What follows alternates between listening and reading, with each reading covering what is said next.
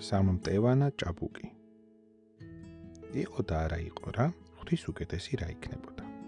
იყო ერთი ღარიბი მეწისქვილე წისქვილის ეზოში ერთი ძირი ვაზი ედგა და ზედ სამად სამი მტევანი ება მტევნები რომ დამწიფდა მეწისქვილე მოიტანა სამსაპლნიანი ქვევრი და დაუწყო რეცხვა. ამ დროს ერთმა მელიამ ჩამოიარა და მეწისქვილეს დაეღრიჭა შენი ჭირიმე ჩემო მეწის ქვილევ ერთი მტევანი მომაწყვეტინე და ბეცაკ წევ. შენ ხომ არ გაგიჟდი უთხრა მეწის ქვილემ ვერა ხედავ ამ სამი მტევნის გულისთვის ამოდენა ქვევრსა ვრეცხავ. რომ მოგიწყვიტო შიგ რაღა ჩავწურო. მელიამ იმდენი უჩიჩინა იმდენი რომ ერთი მტევანი მოაწყვეტინა. შეძვრა იქვე ბუჩქებში გასვლიპა ყურძენი დაბრუნდა ისევ მეწისქვილესთან და ახლა მეორე მტევანის თხოვა. ჩემო მეწისქვილევ, ერთი მტევანიც მომიწყვიტე და ბეცაკ წევ. მეწისქვილე ისე უარზე დადგა. რას ამბობ, კაცო? ეს ორი მტევანი ყურძენიღა დამრჩა და ერთი კიდევ რომ მოგიწყვიტო, ამ სამ საპალნიან ქვევრში რაღა ჩავასხა? მაგრამ მელია რისიმელია თუ მეწისქვილესაც ვერ შეაცდენდა. იმდენი ეხვეწა და ემუდარა ბეცაკ წევო, რომ მეორე მტევანიც მოაწყვეტინა.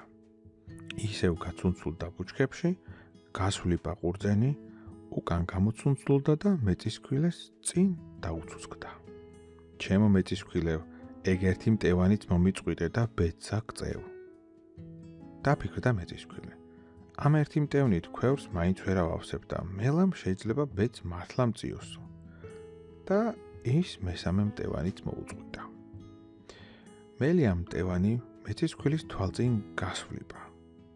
კაილო კალვაშები და უთხრა: "ახლა წავალ და ხელმწიფეს ვთხო, თავისი ქალი შენ შეკრთოს." მელიას ნათქვამი მეცის ქვილეს სიცილად არეყო. აბა რას ამბობ, ჩემო მელიაო, ხელმწიფე მე ქალს როგორ მომცემს? შენ კარგად იყავი. მე ნურაფერი მეტკინება და როგორ არ მოგცემს მაგასაც ნახავ. უთხრა მელიამ და გასწია ხელმწიფის სასახლისკენ. მივიდა ხელმწიფესთან და მოახსენა. დიდებულო ხელმწიფევ სამ მტევანა ჭაბუკი ქალსა გთხოვთ ცოლად უნდა მისცეთ. ხელმწიფეს ასეთი არავინ გაეკონა და მელას კითხა ვინ არის ეს სამ მტევანა ჭაბუკი? რა კაცია სამი ძირი ვაზი უდგას. უთხრა მელამ სამძირზე სამი მტევანი ყურძენიუბია და მათი ნაწურით სამ საპალნიან ქვევრს ავსებს. ო, ეგ მართლაც უცნაური კაცი ყოფილა. ხაიგვირვა ხელმწიფემ და მელიას უთხრა. აბა ერთი მომიყვანე და მაჩვენე. წამოვიდა უკან მელია. მოვიდა მეწისქვილესთან და უთხრა: "ქარა მოემზადე, ხელმწიფეს სასიძოს გაცნობა სურს." მეწისქვილემ თავის დაძონძილ ტასაცმელზე დაიხედა და შიშისგან გააცია და გააცხელა.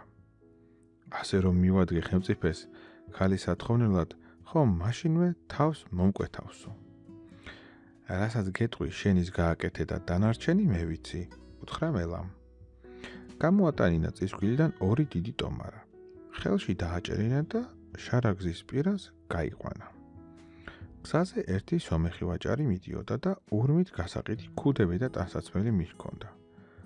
მელამ უთხრა მეწისქვილეს: შენ ურემს უკან გამოყევი და რასაც გადმოყრი, ყველაფერი ტომრებში ჩაყარე. თვითონ წინ გაუსწრო ურემს, გაწვა შუაგზაზე და თავი მოიმკვდარუნა. მიადგა ურემი მელიას. სომეხს მართლა მკვდარი ეკონა და სიხარულით ჩასეწია. მუქ და საქუდე ტყავი ვიშოვეო. დაავლო ხელი მელას და ურემში გადაუძახა. თვითონ კი ისევ კოფოზე დაჭდა და ხარები გარეკა. მელიასაც ეს უნდოდა, რა კი ვაჭარი ვეღარ ხედავდა, ყარა და ყარა ქუდები და ტანსაცმელი ურმიდან. მეწისქვილე უკან მეხვდებოდა და ყველაფერს ტომრებში ყრიდა. ორივე ტომარა პირთამდე რო გაავსო, მელა მხოლოდ მაშინღა ჩამოხდა. ერთი ტომარა თვითონ წამოიკიდა, მეორე მეწისქვილეს აკიდა და გზის პირას უჩინარ ადგილზე დამალა. მერე მეწისქვილეს ურემი შეაბმევინა. ზეთ ტომრები დააწყობინა და ხელმწიფის სასახლისკენ გაუძღვა. სასახლეს შორი ახლო დიდი მდინარე ჩამოუდიოდა. მაგრამ ზედ ხიდი არ იყო. მდინარესთან რომ მივიდნენ, მელამ ხარ ურემიცა და ტომრებიც წყალში შეყარა. მეწისქვილე ნაპირზე დატოვა, თვითონ კი ცურვით გავიდა. შევარდა ხელმწიფის ეზოში და ერთი ყვირილი და ვაივიში ატეხა. დავიყუპეთ. ვინა ხართ ქრისტიანი, გვიშველეთო. გამოიხედა ხელმწიფემ და ჰკითხა: რა მოხდა მელაკუდავ? რა გაყვირებს? მელიამ უფრო უმატა ყვირილს და მოთქმას. რაღარა მოხდა ჩემო ხელმწიფეო? სასიძო მომყავდა თქვენთან თავისი ამალით, მაგრამ წყალმა ურემი გადაგვიბრუნა და ხალხი სულ დაგვიხრჩო. აგე მდინარეს რომ ქუდები და ტანსაცმელი მიაქვს, სულ ჩვენი ამალისაა. ბედად სიძე ცოცხალი გადარჩა, მაგრამ ტანსაცმელი იმასაც წყალმა მოსტაცა და დედი შობილა მდინარის გაღმა იწდისო. ხელმწიფემ ბრძანება გასცა, ახლავე ძვირფასი ტანსაცმელი გაუტანეთ, ჩააწვით და აქ მომიყვანეთო. მსახურებმა იმავ წამს გაუტანეს მეტისქვილეს ტანსაცმელი. გამოაწყვეს როგორც წესია, როგორც ხელმწიფის სასიძოს ეკადრებოდა, შესვეს საუკეთესო პედაგოგზე და დიდი პატივით შეიყვანეს სასახლეში. მელიამ განზე გაიხმა მეტისქვილე და უთხრა: არამც და არამ ტანსაცმელზე ყურება არ დაიწყო. არაფერი გაგიკვირდეს, თორემ შეგატყობენ რომ ხამი ხარ და ქალს აღარ გაგატანე. მეტისქვილე თავის სიცოცხლეში პირველად ხედავდა ასეთ ტანსაცმელს. და რას არ დაიხედავდა. ასევე უკვირდა სახლის დიდრული მორთულობა და ოქროთი მოვარაყებული კედლები და სულ აქეთ-იქით იყურებოდა. ხელმწიფემ ითმინა, ითმინა, მაგრამ ბოლოს ვეღარ მოითმინა და მელიას კითხა. მელიაო, რა არის რომ ეს ჩემი სასიძო სულ ტანსაცმელზე იყურება? ღმერთმანი მელას პასუხი არ გაუჭირდებოდა. წამოდგა და ყოველს გასაგონად მოახსენა. რა არის დიდებულო ხელმწიფემ და ჩაცმულობა არ მოსწონს. თქვენ თვითონაც ხომ ნახეთ, წყალმა როგორი ძვირფასი ტანსაცმელი მოსდაცა, ეგ თქვენი მორთმეული იმისთანა ვერ არის და იმიტომ უყურებს. შეცვლა ხელმწიფეს და ბრძანა, ახლავე ტანსაცმელი გამოუცვალეთო. ამის მერე მსახურებმა სასიზო სულ ოქრომ კედით ნაკერი ტანსაცმლით შემოსეს. მეცის ქვილეს ამ ძვირფასმა ტანსაცმელმა მთლად თავგზა აუბნია. ახარ იცოდა სად წასულიყო და სულივით აქეთ-იქით იყურებოდა. ხემწიფემ ისევ კითხა მელას: ახლა რაღაც იყურება ასე უცნაურად? კიდევ ხომ არაფერს იწუნებს? ახლა სახს წუნობს, უთხრა მელამ. ეს რანაირ სახში შემომიყვანეს? მასხრად ხომ არ მიგდებენო? ხელმწიფის ბრძანებით მეცისხვილე უფრო მდიდრულად მორთულ სასახლეში გადაიყვანეს და სუფრაც იქ გაუშალეს. ამასობაში ნეფე პატარძლის წასვლის დროც დადგა. ხელმწიფემ მთელი თავი ჯარი, ნაზირვეზირები და მსახურები გამოაყოლა მაყრებად ქალს და სიძეს. და თან 10 ურემი პურღვინო და შემწვარ მოხრაკული გამოატანა. მოუძღვის მეწისქვილი ამუზარმაზარ მაყრიონს და ჭირის ოფში ცურავს. ერთი დამგრეული წისქვილის მეტი არაფერი მაბადია და ეს ამოდენა სტუმარი სად მივიყვანო? შიში ნურაფრისა გაქვს, უთხრა მელიამ. შენ მაყრები როგორმე შეაგვიანე, რომ თადარიგი მოვასწრო და დანარჩენი მე ვიცი. დატოვა მელიამ მეწისკვილე და თვითონ დაწინაურდა. წისკვილის ახლოს სიმდიდრით განთქმული დევები სახლობდნენ. მათი ცხვარდროხისა და ჯოგების ტარება თაბარს უჭირდა. ხოლო ბროლისა და მარმარილოს სასახლეები თვალ მარგალიტითა და ოქრო ვერცხლით ჰქონდათ ავსებული. მელია მათზე ნაწყენი იყო და ჯავრის ამოყრა უნდოდა. შევარდა დევების ეზოში და ატეხა ყვირილი. არიქა თავს უშველეთ თორემ აღმოსავლეთის ხელმწიფე მოდის ჯარით და დედა ბუდიანად ამოჟლეტას გიპირებთო. გამოცვიდნენ დევები კარში. გაიგონეს მაყრიონთა სიმღერა და დაფნაღარის ხმა და გულგახეთქილები მელიას შეეხვეწნენ. შენი ჭირიმე ჩვენო მელიავ როგორ მე გადაგვარჩინე და სიკეთეს არ დაგიკარგავთ. მომყევით დაიძახე მელომ და გაუძღვა წინ. დევებს მინდორში საზამთროთ მოზიდული თივის ზვინები ედგათ.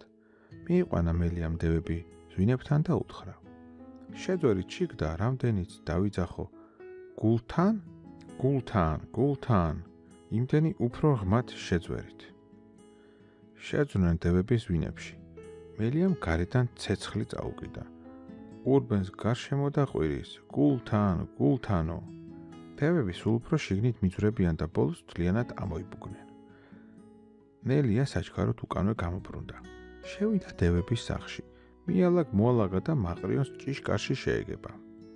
წაუძღვა წინ, გააღო კარი და მაყრები და ნეფიანი თვალმარგალიტით შემკულ დარბაზებში შეიყვანა. მეტისქვილი ახლა დევების სახლის დიდრულმა მორთულობამ გააკვირვა და მოხვა. ისევ აქეთ-იქით ყურებას. მაყრებმა ეს მაშინვე შენიშნეს და მელიას კითხეს: ჩვენი ხელმწიფის სასახლე თუ არ მოსწონდა, ეს სახლი ხომ თავისია და აქეთ-იქით რაღაც იყურება? მელიამ პასუხიც არ დააყოვნა. თქვენს სიძეს ნაბრძანები ჰქონდა საქორწინო დარბაზი ჩემი ყველაზე ძვირფასი ალმასებითა და მარგალიტებით მომირთეთო. სახურებს დავიწყნიათ და რომ ვერ ახედავს, ჯავრობს. მაყრებმა ერთმანეთს გაკვირვებით გადახედეს. ამაზე ძვირფასი რაღა უნდა იყოსო. სახურებმა ხელმწიფის გამოტანილი პურმარილი ამოალაგეს და სუფრა გაშალეს. სუფრის თავში, რა თქმა უნდა, ნეფე პატარძალი დასხეს და სამი დღე და ღამე გაუჩერებლად ილხინეს და იმხიარულეს. მეოთხე დღეს სიძეს ბედნიერი ცხოვრება უსურვეს და გამოეშვიდობდნენ. ამ დღიდან მეტისქვილე მართლაც ბედნიერად და უზრუნველად ცხოვრობდა. მელიას სიკეთე არ დაუკარგა და ქათმების მოვლა პატრონობა ჩააბარა.